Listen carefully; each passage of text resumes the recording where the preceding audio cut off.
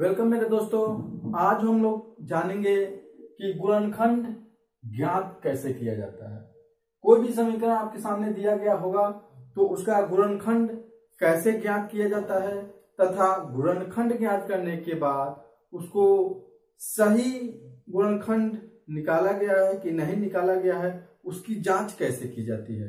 तो आज हम लोग इस वीडियो में जानेंगे कि गुणनखंड कैसे ज्ञात किया जाता है मेरे दोस्तों।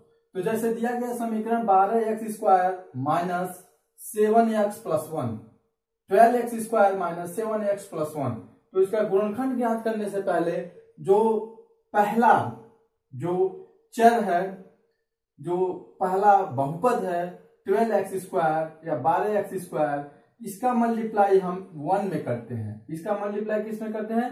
वन में करते हैं। तो यहाँ पर भी हो जाएगा ट्वेल्व एक्स स्क्वायर उसके बाद उसके बाद जो बीच का पद माइनस या सेकेंड जो बहुपद है माइनस सेवन एक्स इसको ऐसी सेट करते हैं, या ऐसे इसकी सेटिंग करते हैं कि इसका आपस में मल्टीप्लाई किया जाए तो यहाँ पे प्लस बारह एक्स स्क्वायर आए, और दोनों को ऐड किया जाए तो माइनस सेवन एक्स आए।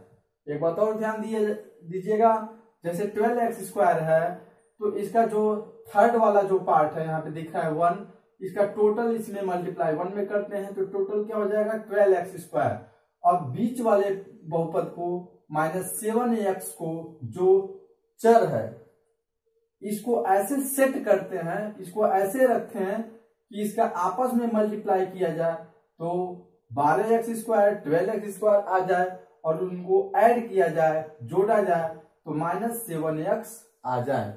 मेरे दोस्तों तो इसको हम लिख रहे हैं ट्वेल्व एक्स स्क्वायर इसको दो पार्ट में हम बांट दे रहे हैं डिवाइड कर दे रहे हैं. माइनस सेवन एक्स को दो पार्ट में बांटेंगे तो एक हो जाएगा माइनस थ्री एक्स और दूसरा हो जाएगा minus four x plus one हम कुछ किए नहीं है। इसको दो पार्ट में बांट दिए हैं। आप देखते रहिएगा ध्यान से।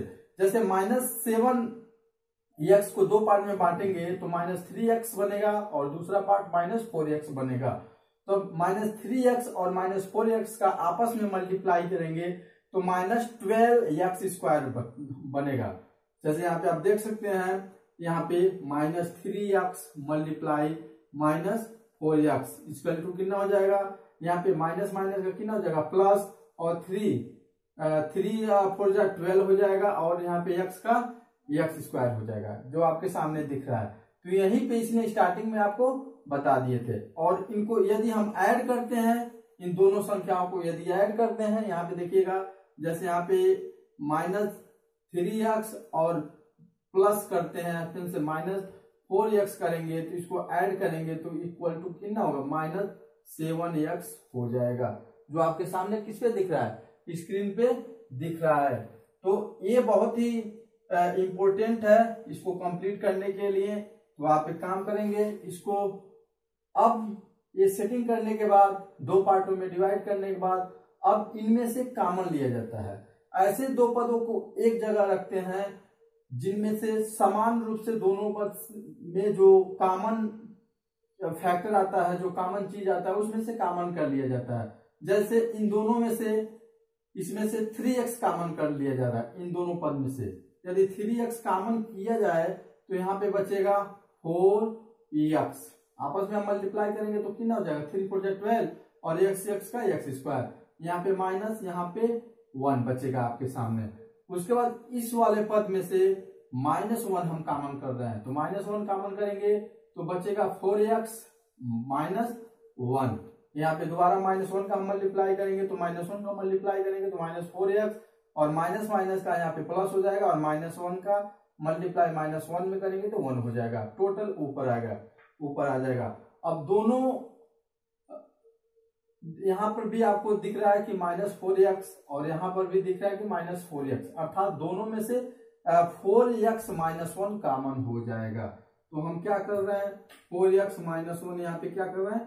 कॉमन कर रहे हैं। तो दूसरे क्वेश्चन में बचेगा। थ्री एक्स माइनस वन अब इसको हम क्या कर सकते हैं? फोर एक्स माइनस वन और दूसरे क्वेश्चन में थ्री एक्स माइनस वन। ये आपका गुणनखंड निकल करके आ गया। कितना आ गया है?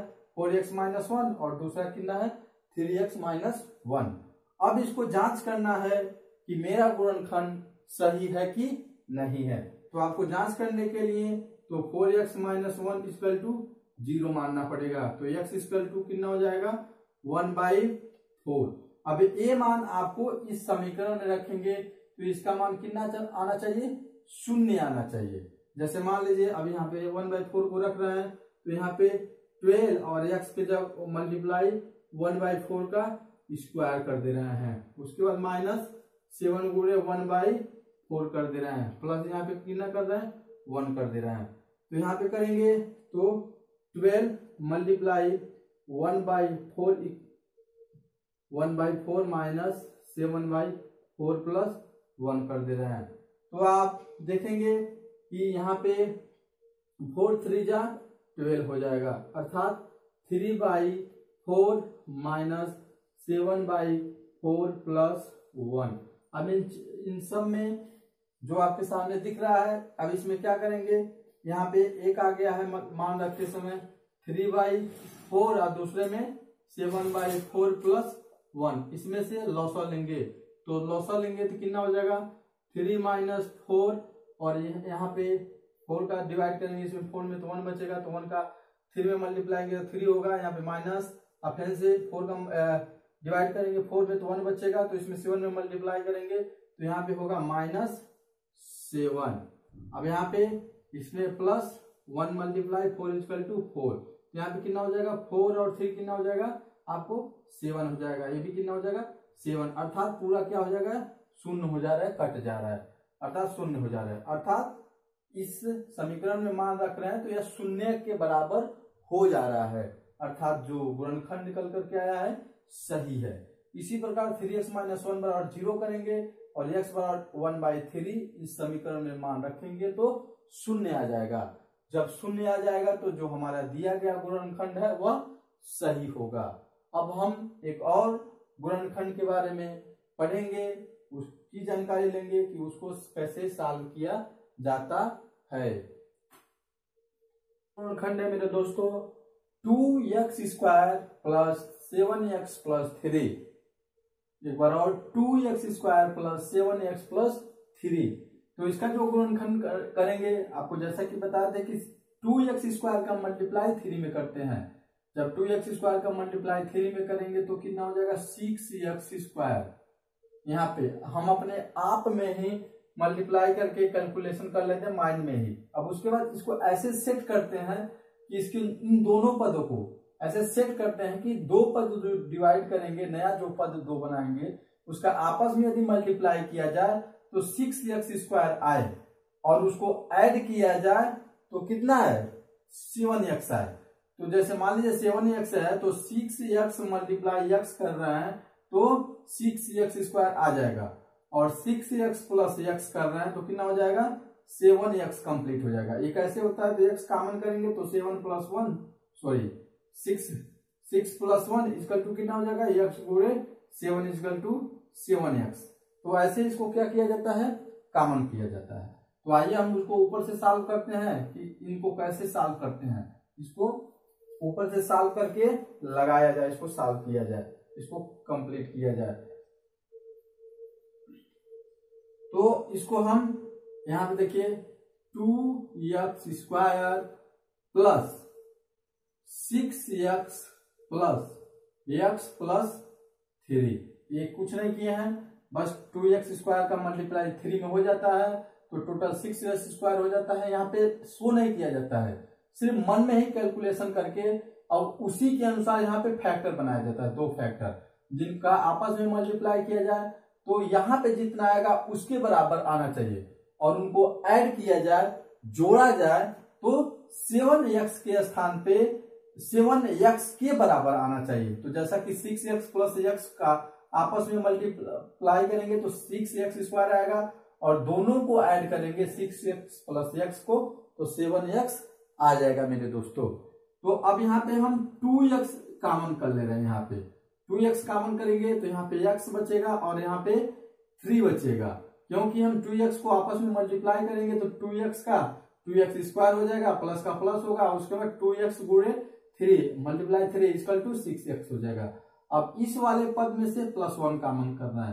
तो प्लस वन कामन करेंगे तो एक्स प्लस थ्री बच जाएगा। अब दोनों पदों में देखेंगे कि यहाँ पे भी एक्स प्लस थ्री और यहाँ पे भी एक्स प्लस थ्री है।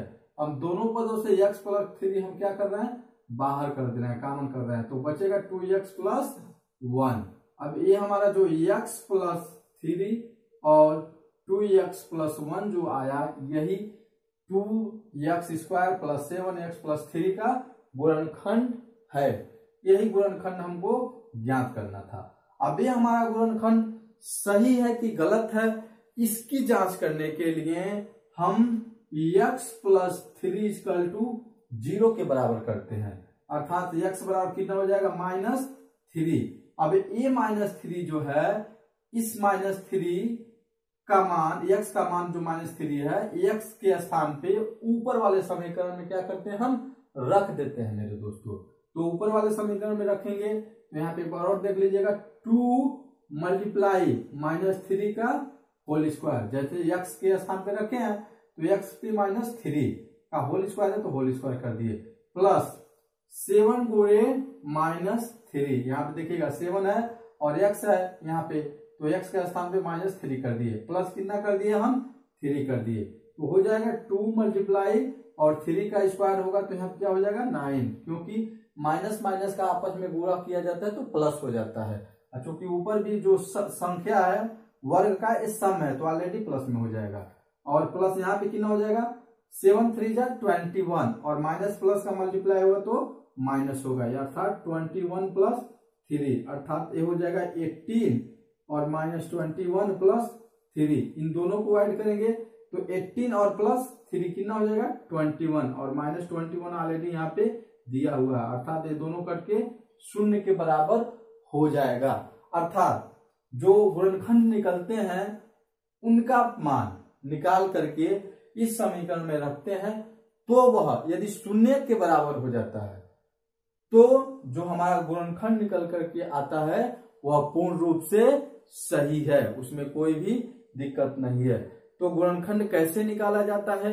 यह हम आपको यहाँ पे इस समीकरण के माध्यम से आपको हम बताए हैं। जैसे two x square plus seven x plus three आपके सामने दिया गया है। इसका हम टू एक्स स्क्वायर का थ्री में मल्टीप्लाई कर देते हैं, मन में ही मल्टीप्लाई करके रख देते हैं तो सिक्स एक्स स्क्वायर आ जाएगा। सिक्स एक्स स्क्वायर आ जाएगा तो इसको हम ऐसा फैक्टर बनाते हैं कि जोड़ने पर सेवन एक्स आ जाए, इसके बराबर आ जाए और मल्टीप्लाई करने पर जो होता है सिक्स एक्स स्क्वायर आ जाए। तो ऐसा हम किए हैं। टू एक्स स्क्वायर को ऊपर से नीचे ला दिए plus six x plus x कर दिए प्लस थ्री को थ्री में रहने देते हैं। उसके बाद दोनों में से टू एक्स यहाँ पे कॉमन हुआ है तो एक्स प्लस थ्री बच गया है और इसमें से प्लस वन कॉमन किया है। अब दोनों पदों में से एक्स प्लस थ्री कॉमन कर लिया यहाँ पे तो टू एक्स प्लस वन बच गया है। अब यहाँ पे एक्स प्लस थ्री और टू एक्स प्लस वन अब हम, ये हमारा जो गुणनखंड निकला हुआ है, सही है कि गलत, इसकी जाँच करने के लिए हम एक्स प्लस थ्री बराबर ज़ीरो की इक्वल कर दिए हैं तो एक्स बराबर माइनस थ्री का मान ऊपर समीकरण में रख दिए हैं। यहाँ पे जो आपको दिखाया गया है। ये मान रखने पर यह शून्य के बराबर हो जाता है, ज़ीरो के बराबर हो जाता है। अर्थात ज़ीरो इसका मान आता है। अतः दिया गया गुणनखंड आपका क्या है? पूर्ण रूप से सही है मेरे दोस्तों। आपको गुणनखंड इसी तरीके से निकालना पड़ेगा। तो जी हाँ मेरे दोस्तों, ये वीडियो आपको कैसा लगा? मुझे कमेंट बॉक्स में ज़रूर लिख करके भेजें। और इससे संबंधित कोई सुझाव है तो ज़रूर दें और मेरे चैनल को लाइक एवं सब्सक्राइब करें। थैंक यू मेरे दोस्तों।